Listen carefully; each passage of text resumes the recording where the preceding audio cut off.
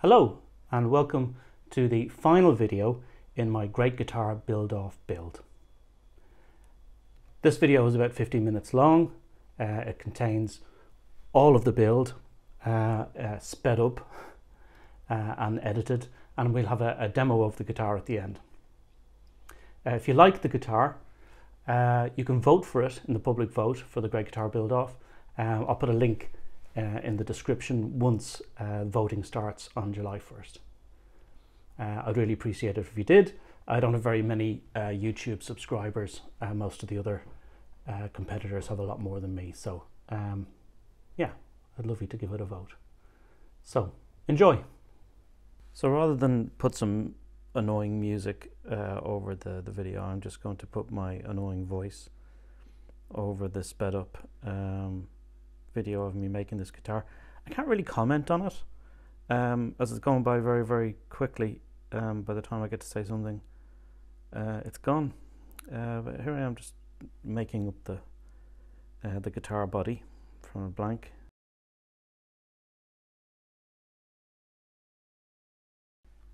Uh, I used a scarf joint for the neck. It was the first set neck guitar that I've ever done. Uh, so that was uh, a first for me. And I actually found it quite easy, um, or easier than I thought that uh, it would be. Um, so I think it's something I'm going to do in the future instead of doing bolt-on next. I think I'm going to go with set next. Uh, I certainly liked working with uh, mahogany a lot more for the neck rather than maple. It's very nice to, to, to work with. It also gives me a chance to sort of chat about the the competition in general rather than the the build. If you want to hear the uh, you know a full description of the build and and uh, and me commenting on it, there's there's like f- uh, six vi- or five videos beforehand, um, that goes through a lot this in a, in a lot more detail and a lot slower. Um, but I, I really enjoyed it. It was great, and uh, I uh, a lot of support and a lot of information from the other competitors um, who were very very generous with their with their time and um, with their information. Um, people like Ash uh, Finlayson and uh, Mumbling Guitar, uh, Mumbling Productions, uh, Fourth Avenue Guitars, Bonehead Guitars, people like that really made this a, a, a pleasure to do. And uh, I've, I've become quite good friends with them, and uh, I think we're all going to try and stay in touch after this uh, after this build who knows, maybe do other builds of our own, um, maybe set each other uh, uh, kind of challenges and stuff like that. Who knows? Uh, anyway, they're all very nice people, despite being um, complete losers. They are, uh, yeah, they're they're a nice crowd. Uh, I, I I mean, obviously, I never want to meet them in person I only really wanted I'll I'll chat to them over over text and things like that, but uh, I, I I really wouldn't want to be seen in public with them or um, have them in my house. I definitely wouldn't have them in my house, uh, any of them. Uh, but as I said, lovely people, very very very nice people. It was my first time working with ebony as well for the fretboard. I'm going to be doing that a lot more, uh, like working with Ebony for the fretboard. Uh, I need to get myself a fret press as well. It's also the first time I'm doing um, an, an angled neck. Um, and uh, I really enjoyed doing that planing down the wood. Made me feel like a proper woodworker. Very, very good. Uh, whether I would work with Zebrano again, I don't know. Um, it, it was fine um, it had a tendency to sort of tear out. Uh, so I might go with something a little bit different in, in the future. It um, it kind of looks a little bit like tiger print as well. So uh, I was afraid that the guitar would look a little bit sort of like a, you know woman of a certain age, um, but it uh, I think it turned out okay it's me fitting the neck. I was very, very happy with that, that it actually fit properly. I was really delighted.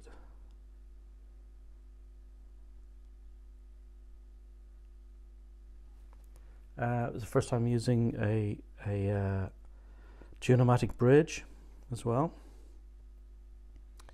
And that's a lovely uh, ferrule block from Grainger Guitars. Um, so I got front ferrules and I got a ferrule block from Grainger Guitars. Just check them out. They've got some really nice stuff. Um, and I made the back plates the same from Zebrano from the front. Um, I think that worked out okay. Um, I could have used maybe you know a different wood, maybe used um, walnut or something like that. Um, but uh, I didn't want to. I didn't want to make it too much. I didn't want to spoil the design by having too many different types of wood on it. So first time carving a top as well. It was great fun using the gouges and things like that. I'll be doing a lot more of that. I think just because it's it's great fun and it's relaxing and it uh, it really makes you feel like you're doing something working with your with your hands. Uh, it took a long time to do. I have to say to get the carve right and everything. It was my first time doing it. I was and I, and I didn't mess it up, thankfully. Um, it's pretty hard to completely mess it up. Uh, I used a small little plane there. It was a little finger plane. Love doing that. Take the edges off.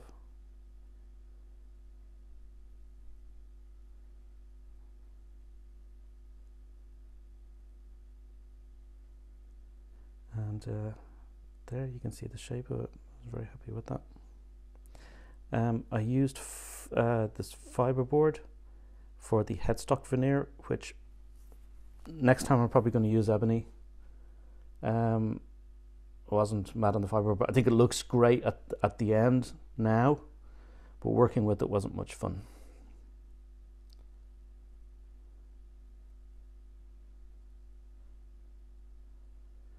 And it was good fun doing a neck as well. That carving a neck from mahogany is so much more fun than carving it from from uh, from maple.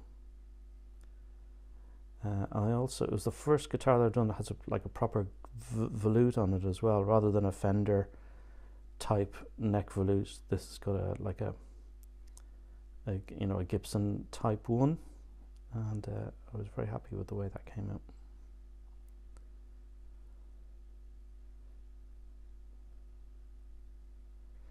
It's funny looking back on it now. Um, all the you know the design decisions that I made and the the the way of doing things that I would change now. And so I'm really looking forward to coming back. I will make another one of these um, using maybe a different top for the uh, a different wood for the top. Um, but I'm looking forward to going back and tweaking what I had done in this build. Making sort of subtle improvements, there's little things that I, I look at now going, would have done that slightly differently. Um, but I'll get the chance to do that again. That's, that's the good thing about guitar making is that you can you learn from your from each guitar that you build, and every subsequent one is better. At least that's the theory. Unless you're somebody like Arista or something like that. Um, where your guitars get progressively worse and worse.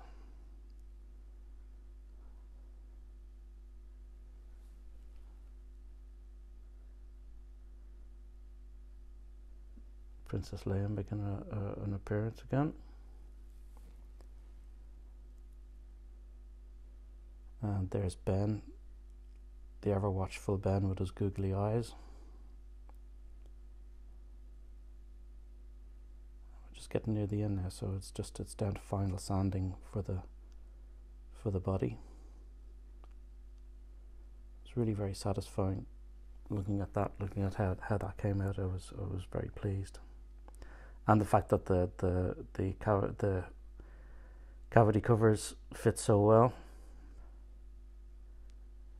Uh, I didn't really film me doing the headstock logo, but um, actually what it is is my initials uh, in uh, using toothpicks as an inlay and I think it looks quite minimal and quite smart Uh, it's putting on the finish. That's very satisfying as well. It's probably the most enjoyable part of making a guitar. Is seeing seeing the finish go on and what it's going to look like using Osmo oil, which is wonderful stuff.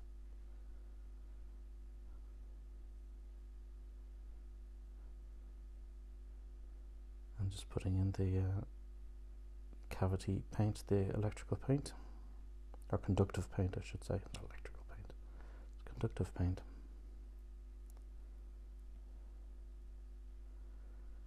And then this was the moment of no return where I was gluing in the neck. This was quite a stressful but satisfying thing.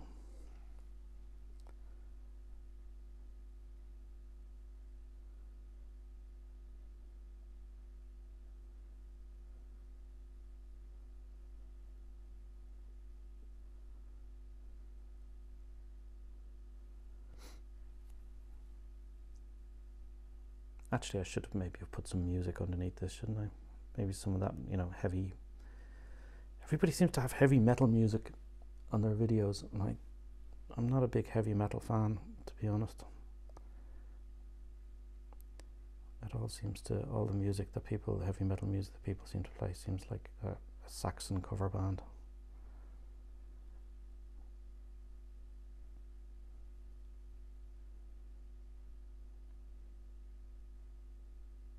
And just putting on the final touches, putting on the hardware. And then doing the frets. This is, uh, I'm getting better at doing fretboards uh, or doing frets, fret, fretting a guitar. Um, I wasn't very good at it at the start, but um, this one actually worked pretty well. Uh, and again, the next one will be better again, I hope. We'll need to get a proper fret press and then soldering uh, soldering it all up. So it's time to give this thing a demo, see what it sounds like.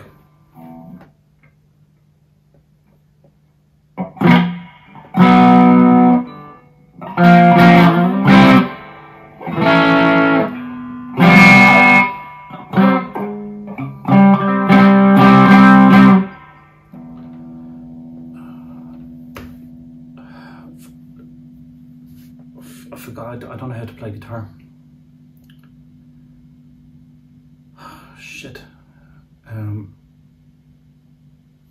I probably should have learned before. I,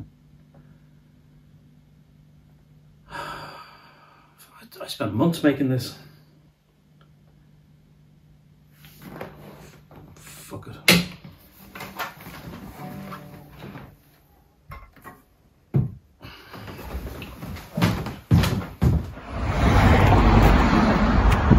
Do you know how to play guitar? Uh, but yeah, yeah, yeah. Play something! Play something!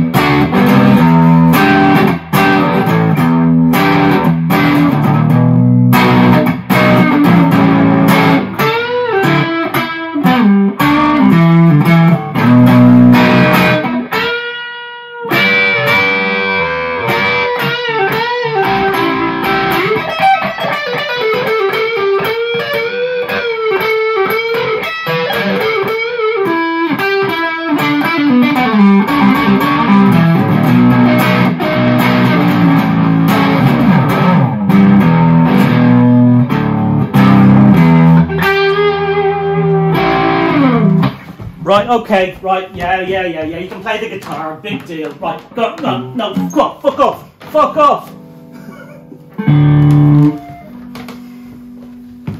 So there we go. That's my entry for the Great Guitar Build Off 2021. Uh, if you'd like to see me maybe build uh, something else, build another guitar, um, please subscribe to my channel. Uh, uh, I don't have a huge amount of subscribers, but if the subscription numbers go up because of this, well then I'll be uh, probably tempted to, to make another couple of uh, maybe another couple of videos uh, if you like this sort of thing. Um, I doubt you do, but if you do, yeah, subscribe. Um, right. Fuck off.